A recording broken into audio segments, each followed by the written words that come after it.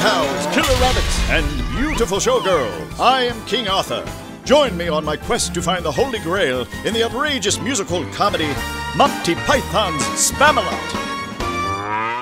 Visit harriscenter.net.